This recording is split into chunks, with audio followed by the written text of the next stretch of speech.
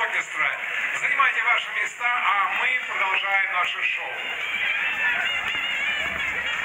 Но прежде чем мы пригласим первого